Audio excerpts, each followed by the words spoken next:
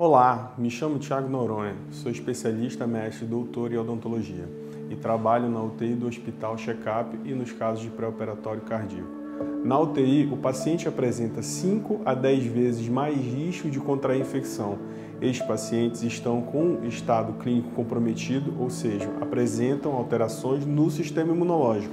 Estudos recentes descrevem que, após a adoção de protocolos por dentistas em UTI nos Estados Unidos, houve uma diminuição expressiva de 56% em infecções respiratórias, sendo que essas medidas diminuem a proliferação de fungos e bactérias e, consequentemente, infecções e doenças sistêmicas, representando risco para a saúde do paciente, principalmente infecções respiratórias, como já foi falado, e endocardites bacterianas.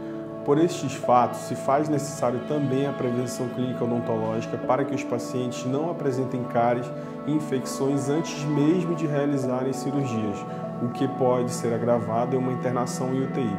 Lembrando que a correta prevenção pode diminuir problemas de saúde, proporcionando tratamentos médicos mais rápidos e precisos com menos uso de antibiótico, por exemplo. Sendo assim, o Hospital Checkup é um dos pioneiros em adotar essas medidas com o intuito de melhorar e prover o melhor atendimento possível aos nossos pacientes e clientes. Então é isso, pessoal. Se você gostou desse vídeo, compartilhe com seus amigos e se inscreva no nosso canal.